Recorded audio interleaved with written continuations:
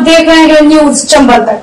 तो चलिए शुरुआत करते हैं आज की प्रमुख खबर से। चंबल तक की खबर क्या हुआ असर मेगांव बीएमओ को कारण बताओ नोटिस जारी किया गया। आपको बता दें कि स्वास्थ्य विभाग के द्वारा बिना कोरोना की वैक्सीन लगाए प्रमाण पत्र जारी कर दिए गए थे। जिसकी जानकारी चंबल तक के कार्यालय में एक व्यक्ति के द्वारा दी गई। जब यह जानकारी चंबल तक को मिली तो चंबल तक की टीम ने इस मामले को तकनीकी समस्या समझकर छोड़ दिया था। लेकिन एक के बाद एक, कई लोग ऐसे थे, जिन्होंने चंबल तक से संपर्क कर अपनी समस्या वैसे ही बताई, जैसी उस व्यक्ति के द्वारा चंबल तक की टीम को बताई गई उसके बाद चंबल तक हरकत में आया और उसने पूरी जाँच पड़ताल शुरू कर दी। तो जाँच में पाया गया कि बिना वैक्सीन सेंटर पर जाए ही लोगों के प्रमाण पत्र जारी कर दिए जाते हैं, जिस पर चंबल तक की टीम ने मेगांव बीएमओ, मनीष शर्मा से संपर्क कर मामले की जानकारी ली। तो उनके द्वारा बताया गया कि हाँ हम लोग बिना कोरोना वैक्सीन लगाए ही प्रमाण पत्र जारी कर देते हैं।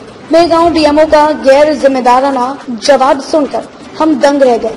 फिर क्या था? चंबल तक की टीम ने पूरे मामले को प्रमुखता ऐसी दिखाया, जिसके बाद Mehgaon S D M Vivek केवी के द्वारा मामले को संज्ञान में लिया गया। S D M Mehgaon Vivek के द्वारा मेहगांव ओ को एक कारण बताओ नोटिस जारी किया गया, जिसमें उनके द्वारा कहा गया है की आप दो दिवस के अंदर अपना स्पष्टीकरण प्रस्तुत करें।